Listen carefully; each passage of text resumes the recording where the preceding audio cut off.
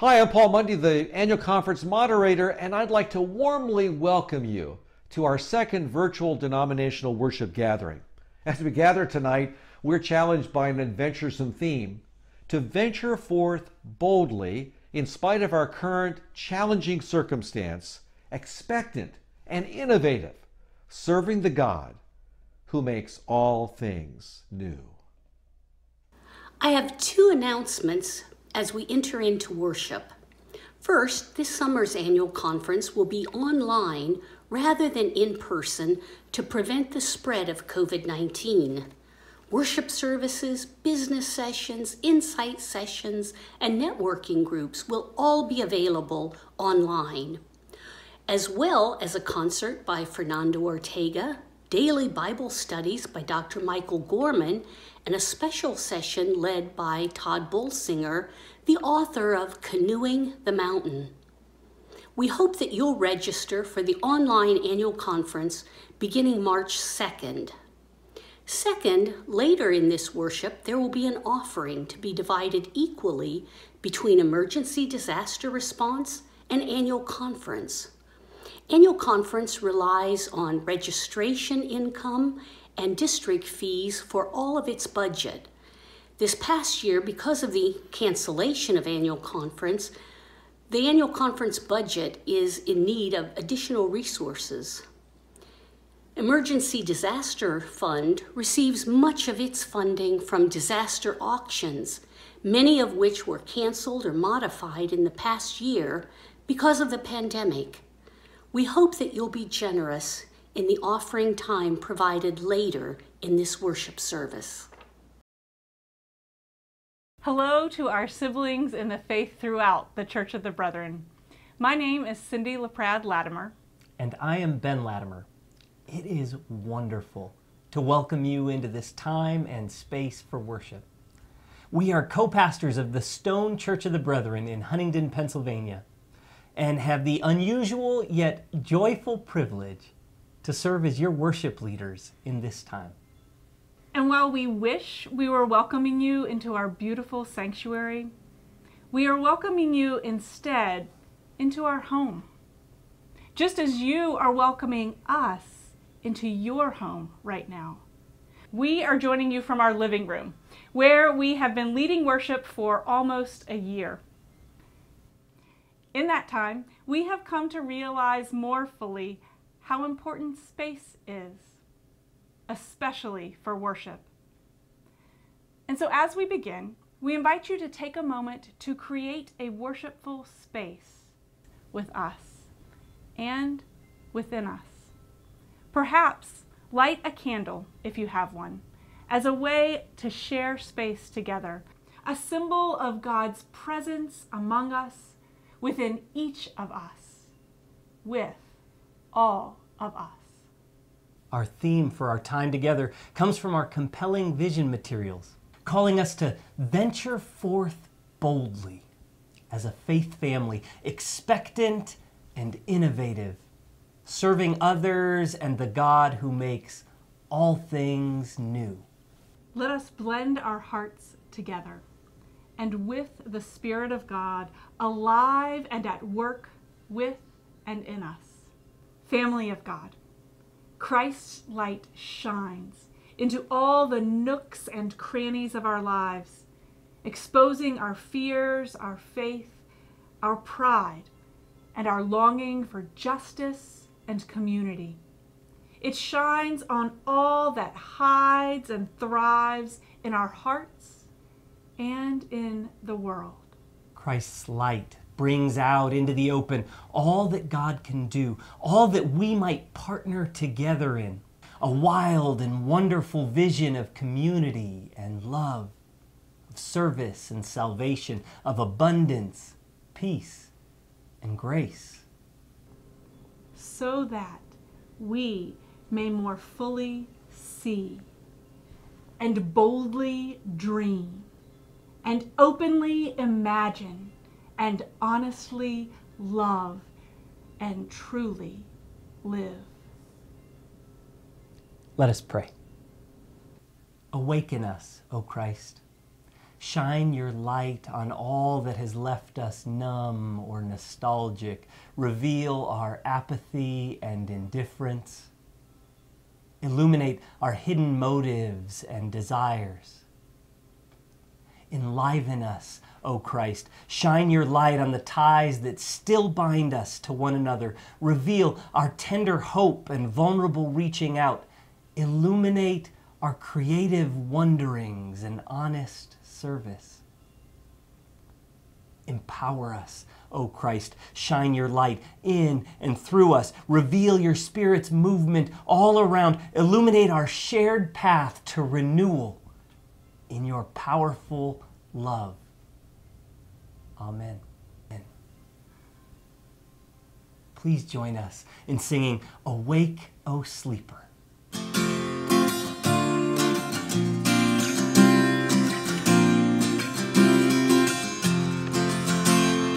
Awake, O sleeper, and rise from the dead, and Christ shall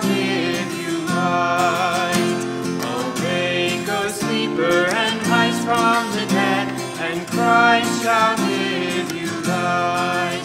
He shall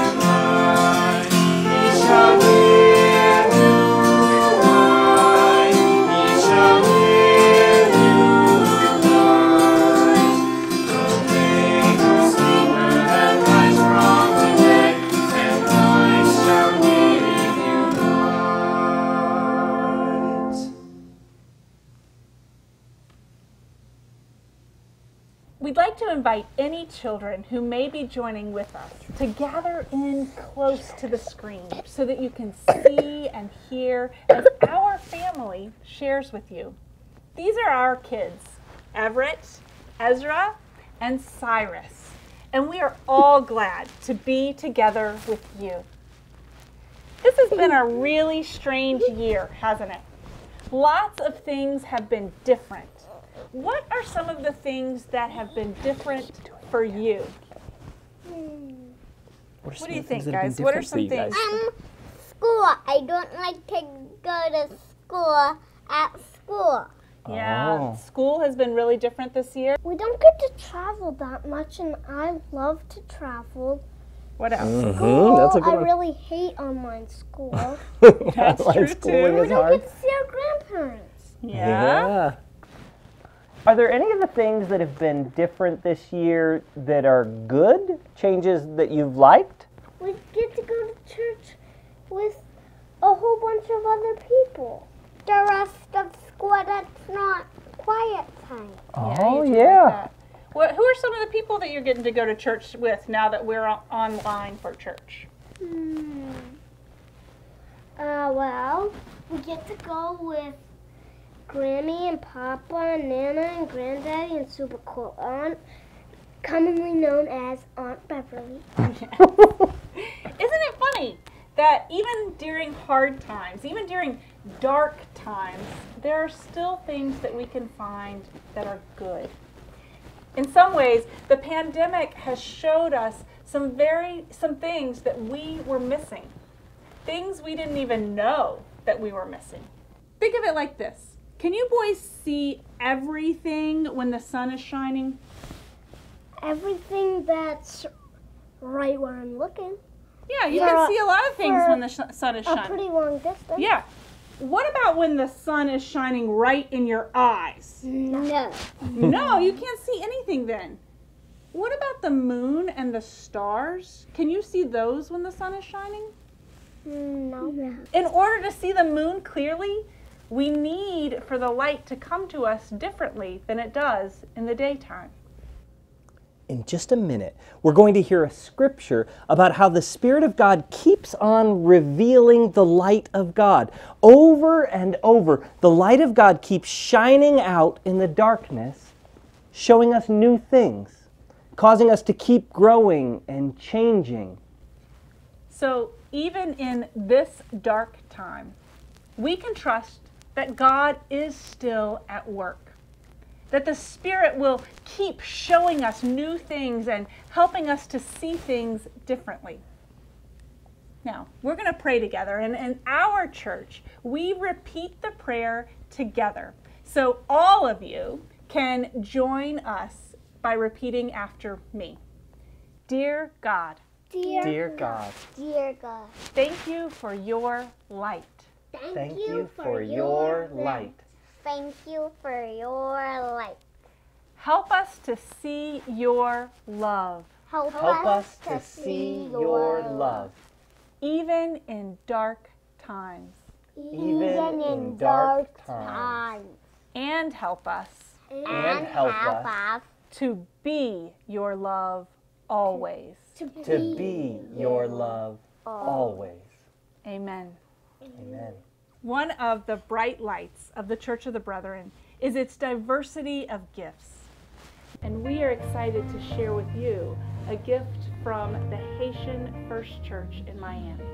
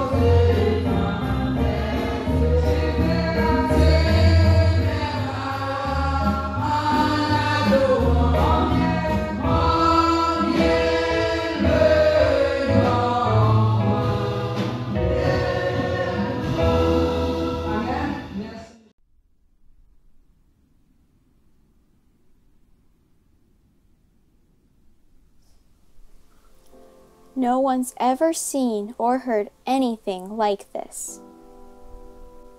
Never so much as imagined anything quite like it. What God has arranged for those who love God. But you've seen and heard it.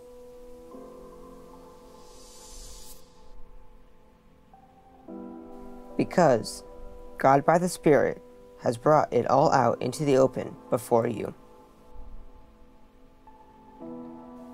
The Spirit, not content to flit around on the surface, dives into the depths of God and brings out what God planned all along.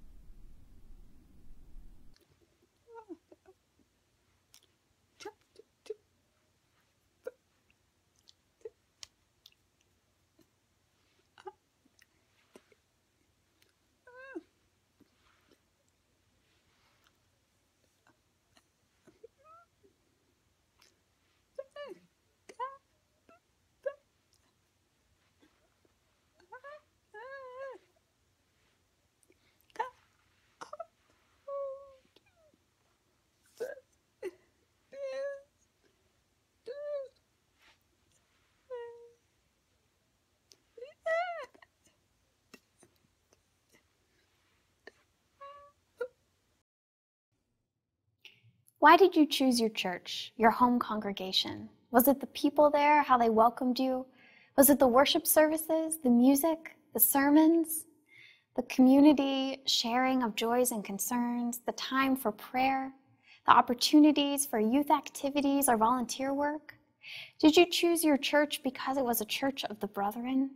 Was it for the values of the denomination continuing the work of Jesus peacefully, simply together? Was it for the value of the fellowship and priesthood of all believers? That every one of us has spiritual insight important to the growth of the faith family? In the early church, the 19th century Church the Brethren ministers would even sit behind tables on the same level as congregation members. So there was no sense that the preachers knew all or that the congregation members had nothing to contribute.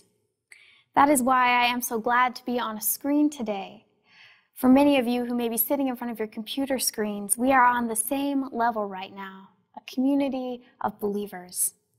Paul writes that we are all, as people who love God, invited to see and hear this spiritual witness. Within the faith family, we all see our own pieces of the puzzle of the mystery of God. Puzzles have unique pieces, all with a specific place they fit into the whole, each important and necessary to complete the picture. True, within the puzzle, there are many pieces that do not fit together, whole sections that won't match up, that seem disconnected from the others. In order to complete the puzzle and reveal the true and full picture of God's mystery, we must find a way to join all the pieces together, even the ones that seem so separate from one another, to learn all we can from each other, to leave no spiritual witness unheard. I remember one year that my sister Tani and I spent home for the summer in a house with no air conditioning. Now, this was a summer in North Carolina, quite a bit different than the summers I have experienced in Indiana. It would get so hot and so humid that the only place that was not insufferable was in the basement. There was, however, no cell phone signal in the basement. I was a teenager, and it was my first summer with a boyfriend, Needless to say, I suffered upstairs. But Tani would spend her hours down in the basement doing one of the most enjoyable digital free pastimes, putting puzzles together. Now, there are only so many times you can put puzzles together over the course of an entire summer before you pretty much know where every piece goes. So by the end of the summer, not to be discouraged, Tani took to flipping her puzzles over and completing them upside down. So she was just going by the shape of the puzzle pieces. To me, it seemed nearly impossible, since they were all just plain cardboard color. But she'd done the puzzle so many times before and knew that they all fit together to create the bigger picture on the other side, so she always found a way. When we turn our puzzle pieces upside down, we see that we are all believers in God. We are all united in our love for God beyond our varying perspectives and life experiences. We see this in the example and teachings of Jesus Christ. In the Gospel of Luke, the 10th chapter, Jesus tells the parable of the wounded man who is passed by a priest and a Levite before being helped by a Samaritan. Jesus teaches the Samaritan was a good man because of his compassion, rather than his alignment with a particular group or way of thinking. Further, in the fourth chapter of John, when Jesus meets a Samaritan woman at the well, he tells her that regardless of how she has been living or her association as a Samaritan, she is invited to drink the living water he has to give. We all possess knowledge of parts of God's mystery, and to fully understand the mystery, we must become known to each other.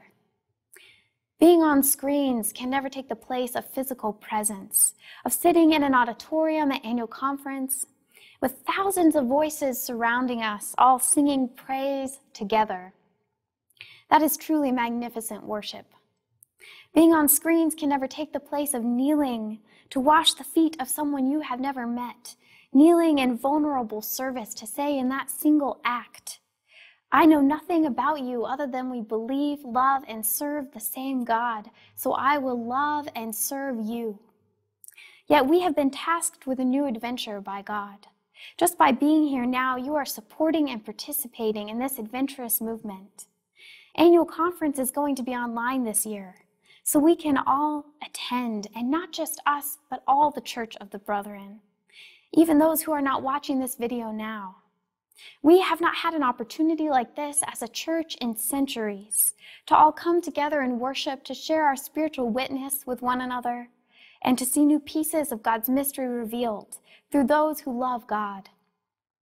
Even right now, churches can do video groups where members who would have stood across the room from one another during the refreshment time before Sunday school are sharing in discussion with each other.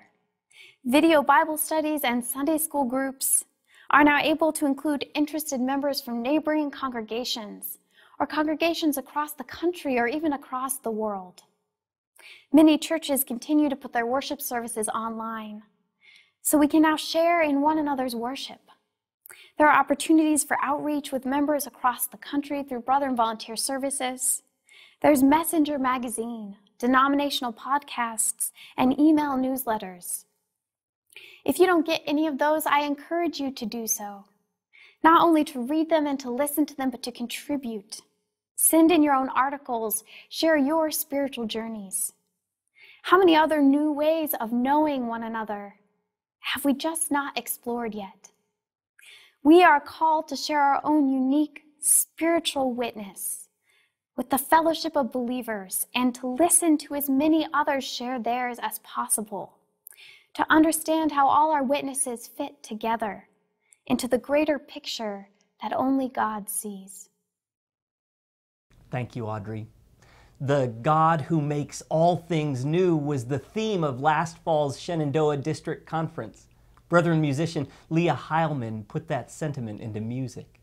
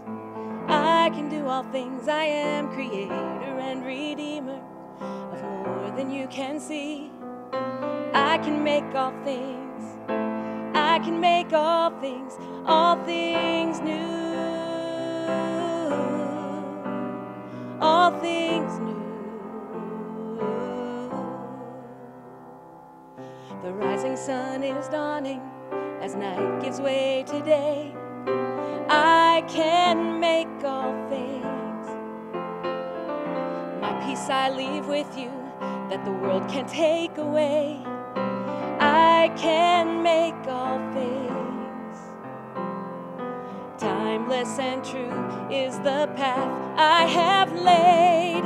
Walk in your faith with all hope, for I say, I am the Alpha and Omega, the beginning and the end. I can do all things. I can do all things. I am creator and redeemer more than you can see. I can make all things. I can make all things, all things new. All things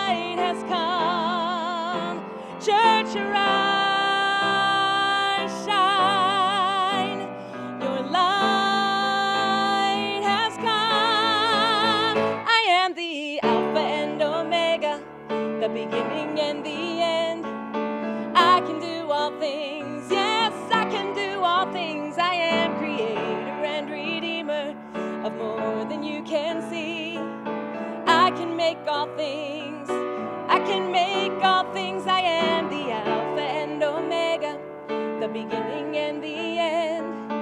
I can do all things, yes, I can do all things. I am creator and redeemer of more than you can see. And I can make all things, I can make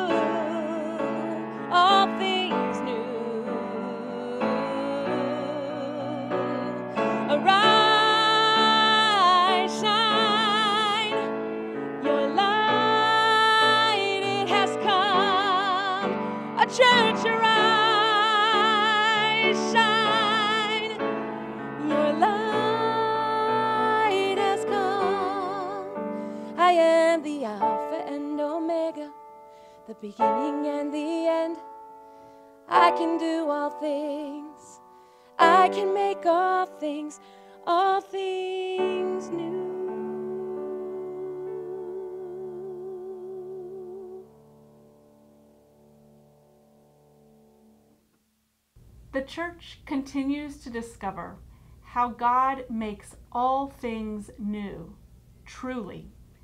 We discover this in the midst of the challenges we face, particularly the challenges of virtual worship. Our moderator elect, David Sollenberger, has been exploring this topic for us. It seems like years ago when this scene was common in our churches, folks gathering together, standing next to each other.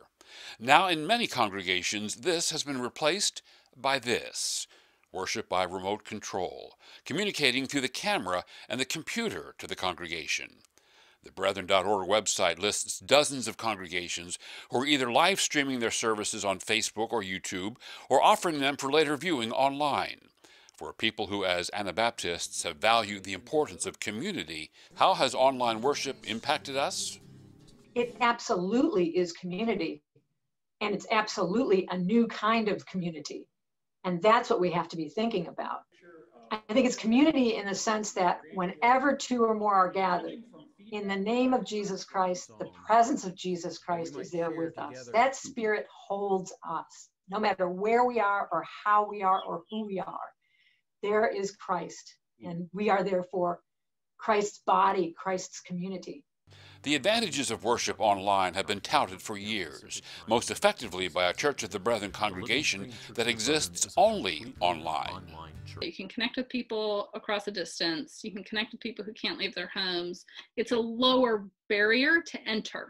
It is easier to, to click and watch something. You can have your camera off, or um, if you're doing Zoom or in our you know live stream video stream, you don't nobody's going to see you anyway. You can be more anonymous to try things out.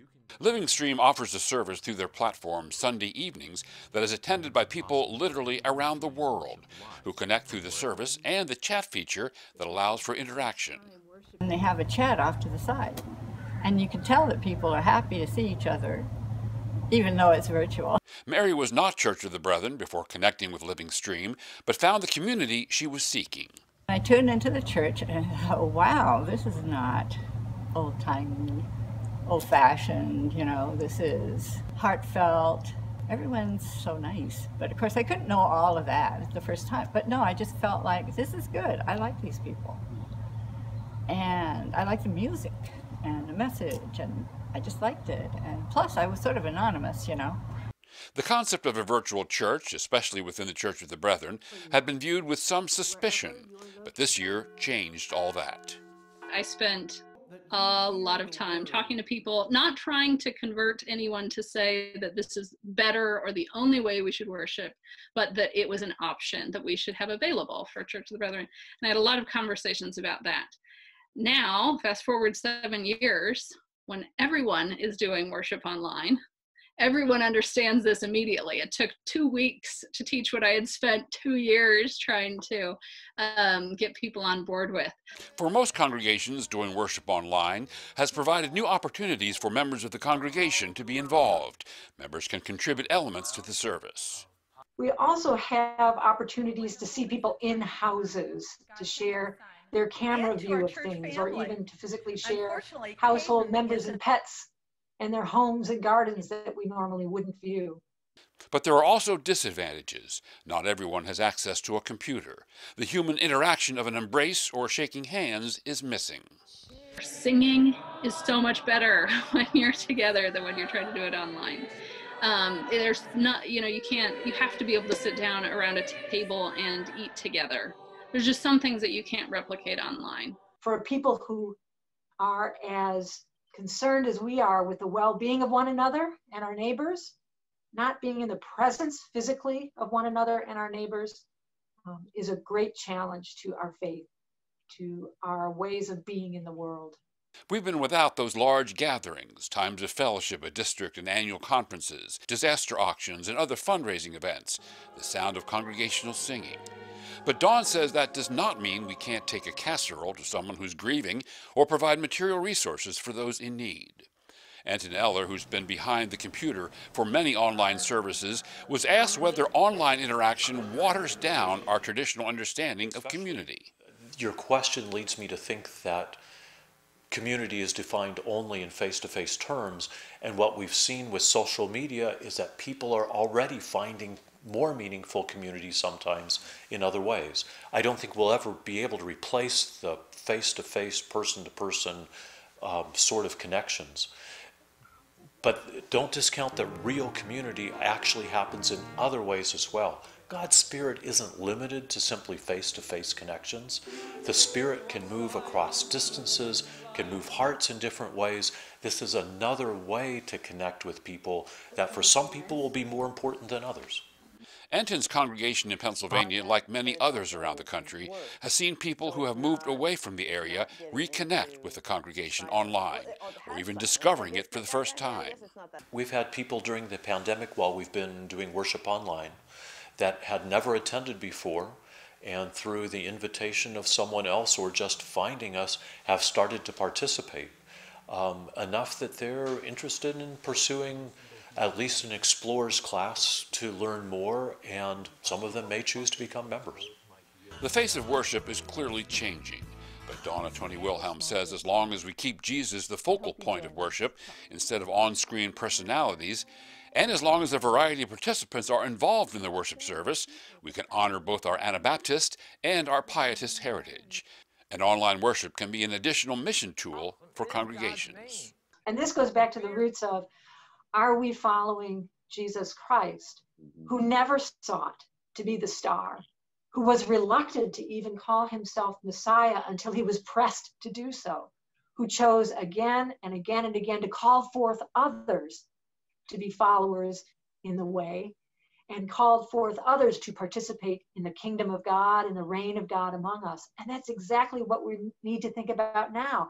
How do we now call forth one another and others? How do we welcome and host others in new ways, just as Jesus did continually?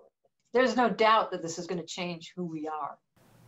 And it's up to us to discern and to consider, pray, and to work on who we will be.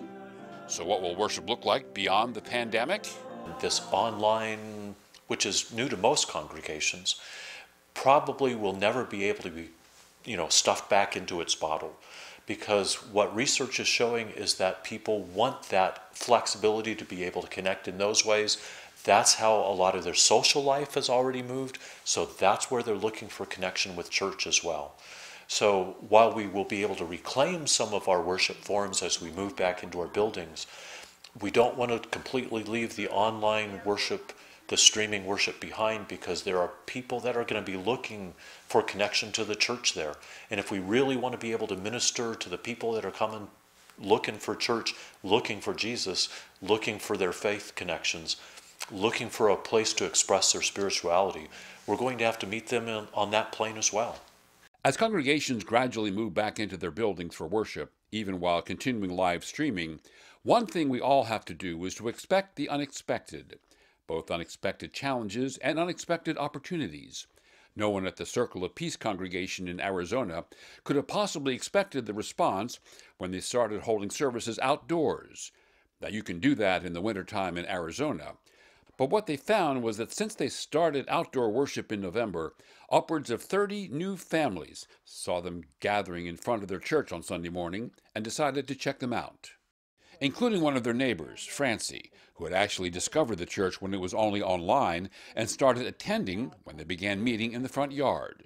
I loved Jeremy's messages. Um, I liked the music too. Um, and the people were very friendly.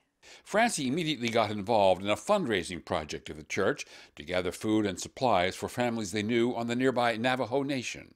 I really appreciate that. I really do because they care about others. When I saw that that uh, the church was doing that, I just wanted to be involved with it. In fact, she's decided she wants to join the church, even though she's never even been inside the building. I'm not looking at the church inside of the church. I'm looking at what I see and what I see from Jeremy and the and the whole congregation. I like it. It's good. Pastor Jeremy Ashworth says their outdoor worship and their online presence have really become evangelism tools to reach people who would not have taken the risk of coming inside.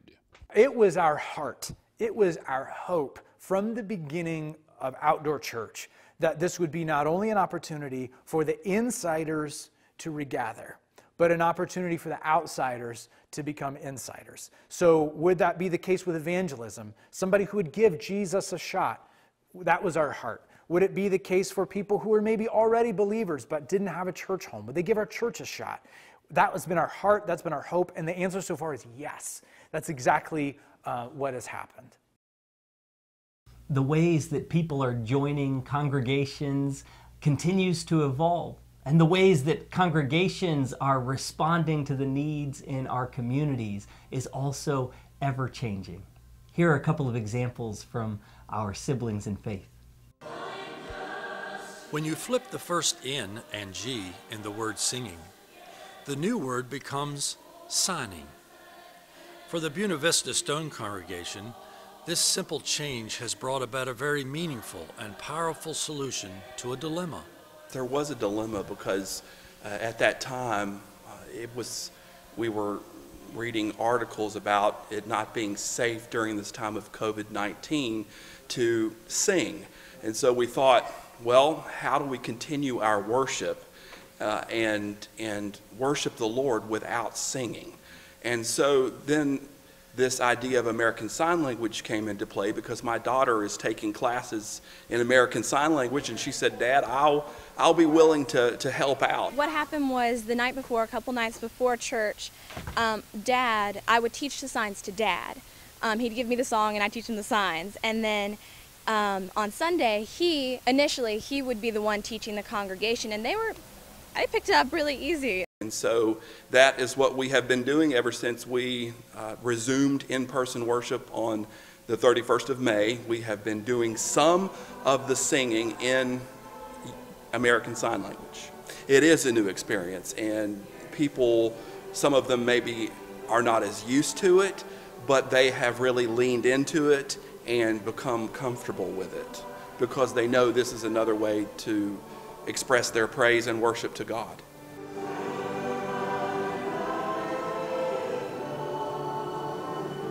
It has really been a, a great uh, innovative way to be able to express ourselves, to be able to worship here at Stone Church.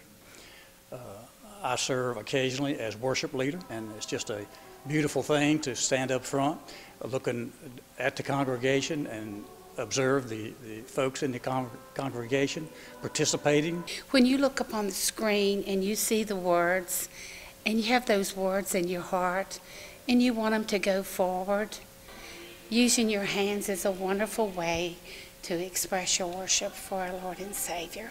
And the congregation fits in well. They have adapted well to it and love it.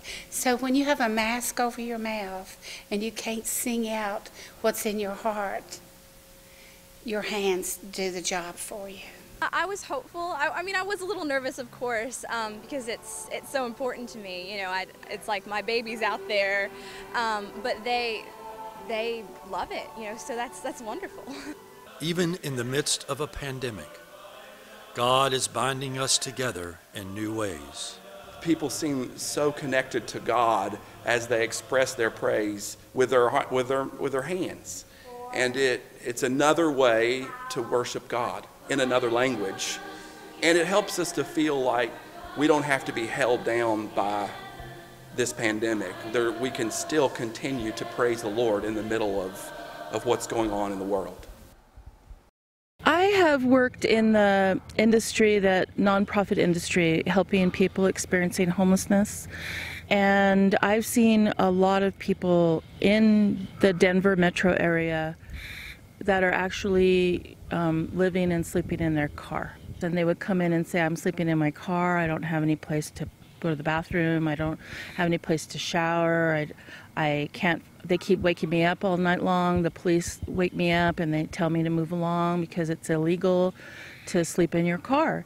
So Rochelle Brogan, a deacon and board chair of the Prince of Peace congregation in Littleton, Colorado, decided to do something about that. She'd heard of a program in California that arranged for churches and nonprofits to allow people living in their cars to spend the night in their parking lot.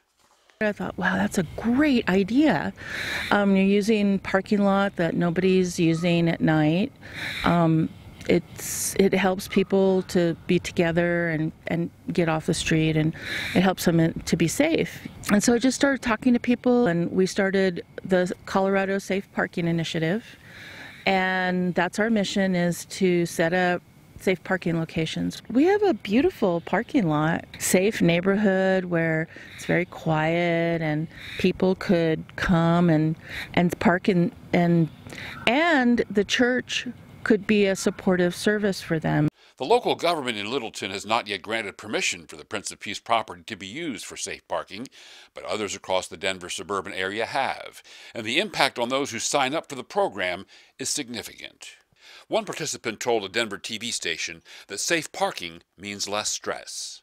We sleep so much better at night because we don't have to worry about anybody knocking on our window, someone telling us we have to move, or, you know, anything like that. So it's just like, it's secure. It feels nice to be safe. The first lot we had in um, Longmont, the church has been totally supportive and they've opened their building up, their fellowship hall. And so the people that park there can even take a shower and they provide dinner and coffee in the morning and donuts and just totally supportive and wonderful. The really sad thing is that right now, because of the pandemic um, and people losing their jobs and not being able to pay rent. So homelessness is a real, a It's real a scourge, and it's all over the country. Rochelle says the people who have a safe place to stay are more likely to be able to find a job and get back on their feet, especially if they know that someone cares about them. You're comfortable, you're happy, you feel like you belong somewhere, which I think is like my biggest thing. I didn't feel like I belonged anywhere because I didn't have a house. There's one lady that asked me about my son all the time, and you can't, you don't get that sleeping in a Walmart parking lot. You don't get people that really care about you and that show you that they care. And these guys do. Our mission, our our directive from Jesus was to help your neighbor, to be a good Samaritan, and to look out for each other. The Prince of Peace congregation believes responding to the needs of their neighbors is part of what it means to be Jesus in the neighborhood. That which is unfamiliar and strange and outside of our comfort zone can become habit, routine, familiar, with just a bit of courage. And that is true with our practices as well as with our people. We become strangers no more. A beloved hymn among many of the brethren, one that almost didn't make it into the hymnal. When it came time to choose hymns for the 1992 hymnal, the Mennonites and the Brethren had a lot of negotiating to do. The Mennonites had their very favorite hymns. And of course, we brethren had our very favorite hymns, especially hymns that were by our poet laureate. Yes, we loved anything that Kenneth Morse had written. Now, the Mennonites weren't as sure about this hymn as we brethren were. Of course, we had known it for 20 years. We had sung it together in our churches that had the songbook, and we had sung it at annual conference. For the Mennonites, it seemed terribly new. Not that we weren't putting new hymns in the hymnal, but this one maybe to the Mennonites seemed a bit humanistic. They maybe thought that um, it was not sophisticated enough. And it was maybe the words God and uh, Jesus Christ, maybe um, it was more implicit than explicit.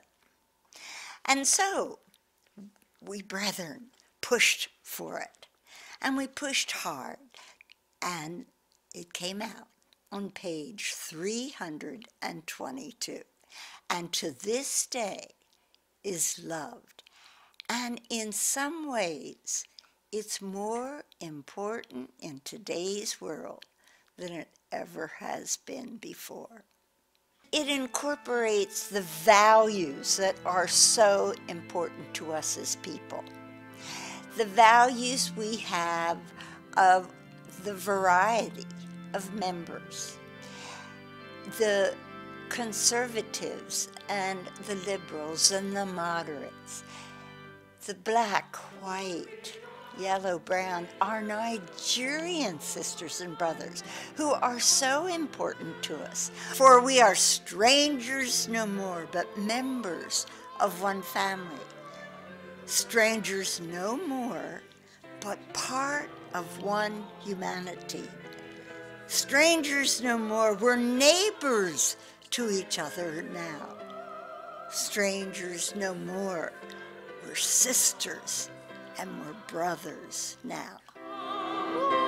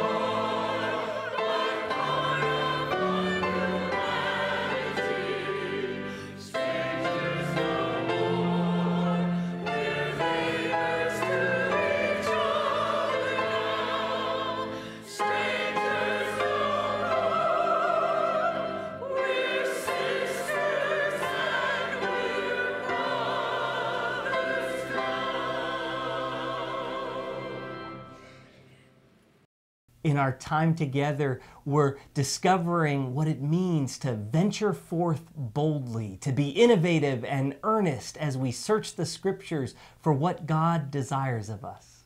In the African country of Uganda, about two years ago, there was a pastor who was searching not only the scriptures, but also the internet. He had never heard of the Church of the Brethren until he came upon the brethren.org website. Hello, everyone. This is Pastor Bombali Sedrak is convinced that God led him to the Church of the Brethren website during a pivotal time in his spiritual journey.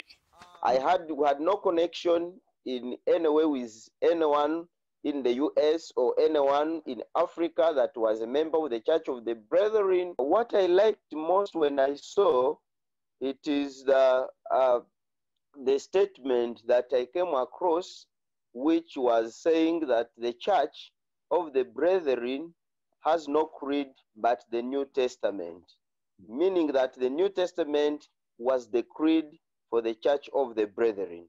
Pastor Sedrak and members of his family at the time were embroiled in a dispute with the Pentecostal church he was a part of over their insistence that salvation only comes through speaking in tongues. We tried to search the scripture, we could not find a proof to that. What they found in the Church of the Brethren was an emphasis on peace. In a country embroiled by conflict, he was amazed that there was a church out there that proclaimed that all war is sin. Believing in peace and non-violence, I realized that this was the right, I was in the right place. He was also impressed by the belief that all people are individually and wonderfully made in the image of God, that Jesus' love encompasses all people, and the church exists to share that saving love. We agreed to form a church and associate the church with the doctrine of the Church of the Brethren. He started two churches in the Kampala area and introduced this approach to faith to his uncle, a pastor in the rural area of western Uganda, where there are now five additional congregations that call themselves Church of the Brethren. One of them in the village of Kendahai is pastored by two women. Through a Facebook connection with Larry Dittmers in the U.S., Cedric shared his vision for the church in Uganda with Gordon Hoffert, a Brethren minister who happened to be visiting in Uganda in 2019.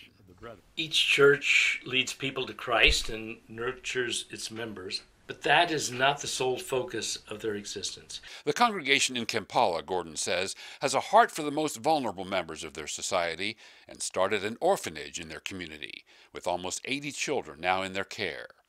And the church in Bugando has turned a village school in that community into a Church of the Brethren ministry. Pastor Cedric says they need resources to offer more theological training for their church leaders and would like to acquire land so that the orphanage can become self sustaining. Because we would like to engage in farming, but what is hindering farming uh, is lack of land. Once we have land, then I believe that we shall be able to become self sustainable because we have members who are willing to offer labor uh, so that we can be able to be self sustaining. In the meantime, as the Ugandan brethren share the love of God in their community, they rejoice in the partnership with their brothers and sisters across the Church of the Brethren. A faith tradition, they say, is consistent with their understanding of Scripture, and one that they discovered with a little help from the internet.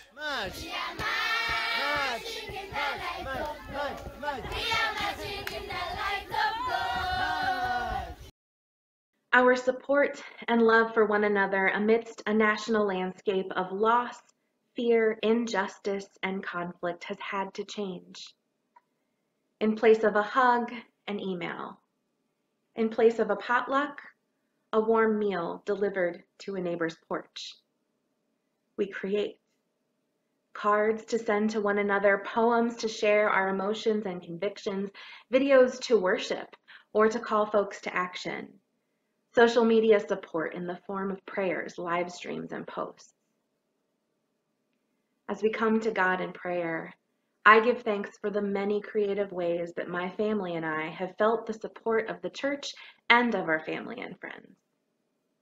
We all have stories of loss, fear, love, and support from this past year. God is with you, and our prayers are with you. Will you pray with me? God of the journey, a long and challenging road has brought us to this day and through this year. Your earth and your people are crying out for justice, love, health, and support. May we hear their cries. Loving God, we know that you love us. Reveal to us your spirit. May our eyes see your kingdom here on earth. May our ears hear the cries of our neighbors who need our bold action to advocate for and support them.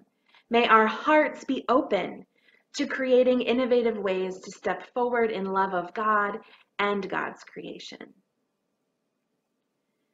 As we follow you, our God who makes all things new, may we not be silent in our love. May we not be silent in our support. May we not be silent in our creativity. And may the divine spark within all of us and the light of God in our church shine brightly for all to see. Amen. In the Church of the Brethren, we have a long history of supporting one another and caring for our communities, especially in times of need. In these moments, we have the opportunity to give, to give an offering to the Emergency Disaster Fund and to the annual conference office. The ways to do that have appeared on your screen. Because of the pandemic, our districts have not been able to hold their normal auctions that would be the bulk of the funding for the Emergency Disaster Fund. And the annual conference office has had to take on additional expenses in order to provide a virtual conference this summer. This is an opportunity for us to support and uphold these important ministries. The theme for this worship service has been Venture Forth Boldly as a Faith Family, expectant and innovative, serving others, and the God who makes all things new. Those words were written as part of the interpretation of the compelling vision, but they could have been written for the church in the midst of the pandemic. Because this last year has pushed us to venture less timidly and more boldly. The pandemic has pushed us in terms of expectation and innovation, pushed us to wrap our arms around the phrase, all things new. One of the ways the pandemic has pushed us is to not take each other for granted and to not take for granted our familiar ways of doing things. The very real threat of the coronavirus has done that. Being deprived of each other's face to face company, being deprived of familiar routines has done that to us in the church. Maybe we have learned not to take youth work projects and church conferences and pastoral visits in the local retirement community for granted anymore. Maybe we don't take our opportunities to simply cross paths with our brothers and sisters on Sunday morning or our rituals of grief for granted anymore. And the experiences of this past year have made us more aware of the fragility of life and its routines and the importance of this particular moment. As we venture forth from this time, what will you no longer take for granted? And of course, the pandemic has forced us to be more creative and more flexible. Maybe it's made us less lazy. Online worship is a big example of that. We have to think about every little detail. We have to be creative in finding ways to include children and youth when they are already tired of being online. We have to find new ways to sing and share music. And it's not just worship, but we've had to innovate in terms of congregational life. All last year, like many of you in my congregation, we were constantly thinking about new versions of familiar activities as well as entirely new ministries that would allow us to engage, but safely. We took our planned outdoor Sing Me Home festival online. We had a Guide My Feet bike rodeo for kids. We rented the local drive in movie theater to show a movie with an anti racism theme. We offered ourselves as a host site for Second Harvest tailgate food distributions. And when winter came, we needed a whole different set of ideas spontaneous sledding parties, offering the church gym to families in one hour slots on a Sunday afternoon, more Zoom opportunities for study, for games, for conversation. Every time we did something new, we asked ourselves this question And what is next? So, what new thing, what innovation is next for you? And the pandemic has encouraged us to expand the circle of community. People worship with my congregation now from places all over the country and indeed from other places around the world. When we go back to in person worship, like many of you, we will have to continue to live stream our worship services because our congregation is now not only local, it's translocal. We are continually weaving a new web of connection. In our local community, we've connected with people who would have hesitated to come in person before because of the spotlight that shines on someone who comes to visit a church in a small town. But now they've gotten to know us. And there are people who worship with us, but who also regularly worship with other brethren congregations online. And those folks share ideas and suggestions with us from what others of you are doing. And there's this possibility of cross fertilization. All those connections are changing us and sometimes challenging us. How is your circle of community expanding? And how is that expansion changing the family of faith? And finally, the pandemic, the experience of this last year, has sharpened our awareness of our witness. What does it mean to engage the world, to go beyond the walls? A lot of what we assumed about what the church can do and how it should and will function has now been blown away. And in the online world, we have discovered anew the truth that we are not in control of our exposure, who sees us, what they think of us. So, all we can do is focus on making sure that what we say and what we do all stays true to who we are, who Jesus is calling us to be. What is new and renewed about your witness in Christ? When this period of time is over, will we go back to what was? Will we let go of the new and go back to the old? I guess the answer is yes and no. Yes, we will travel back to some of the things we were forced to leave behind in the last year. Because, for example, there's no substitute for being with each other physically. There's no substitute for holding a hand, singing together, having hands on educational opportunities, doing physical acts of help and charity. We will want and need to be back together. But no, we won't go back to what was in the sense that we can ever retreat back into the small and rigid spaces we were occupying. The circle of the church is and must continue to be bigger now. The walls have opened up, technology has expanded our reach and our responsibility. Like you, I look forward to coming out the other end of this tunnel. But what is at the other end is different than where we were last March. Will we venture forth boldly? Will we continue in a spirit and practice of expectation and innovation? Will we see with fresh eyes and continue to embrace fresh ideas of how to carry forward our mission of serving others and serving the God who makes all things new? Even as this last year has been a hard time for the church, this has also become our time of imagination and opportunity. May we live into this new day with hope and trust, with openness and creativity, with wonder and grace and love. For God is making all things new. Amen. Sisters, brothers, siblings in faith, thank you for welcoming us into your homes and into your lives, for joining and sharing together in ours.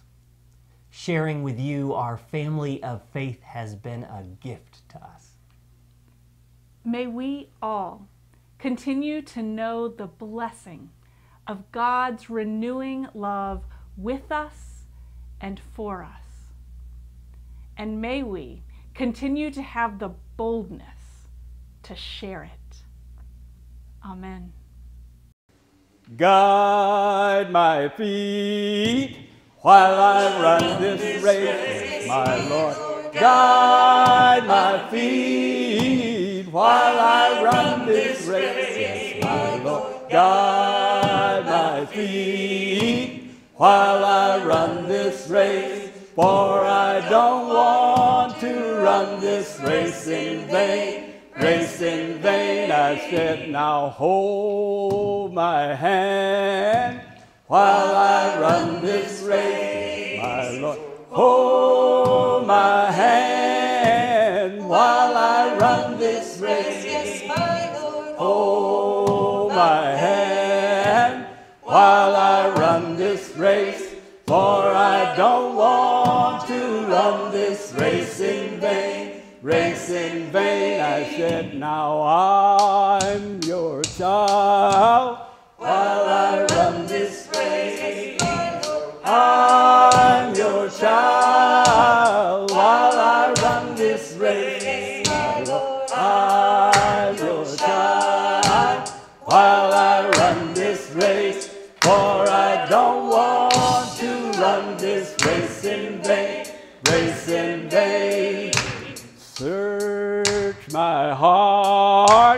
While I run this race, my Lord. Search my heart while I run this race, my Lord. Search my heart while I run this race. For I don't want to run this race in vain. Race in vain, I said, now guide my feet while I run this race. Guide my feet while I run this race. Guide my feet while I run this race. For I don't want to run this race in vain. Race